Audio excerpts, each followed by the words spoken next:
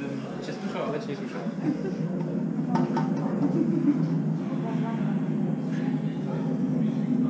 Koniecznie też mogę słyszeć. Jest straszna.